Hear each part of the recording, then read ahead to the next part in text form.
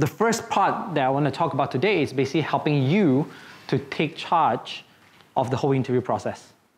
See, very often when we go into interview or when, when you go into interview, you are being dictated on what to do, correct? You're supposed to come at this time, you're supposed to go into this room, you're supposed to call this person. It's all fixed for you. And literally, for this one, you actually have no control in that sense, right?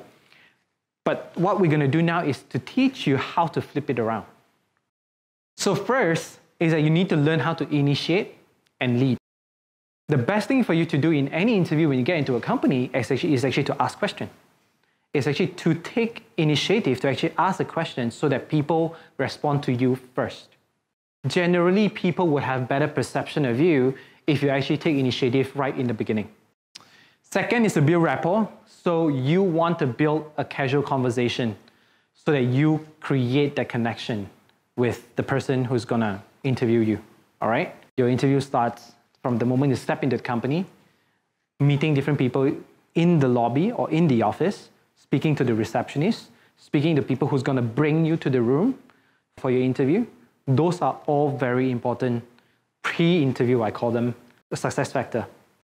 Third is to match and mirror. People look, act, sound, and move like one another. They tend to notice the similarity at the unconscious level and therefore get along with each other. Some other things that you can match and mirror is also your tone of voice, the speed when you speak, and this is also related to the next one, which is pace your time. When I became like an interviewer and asked a question, young graduates would tend to answer straight away if your interviewer asks you questions, take your time to actually structure your answer, even though the answer is right off your head. Like you can tell it straight away right now. But don't. You have to pace it. You have to take charge of the conversation.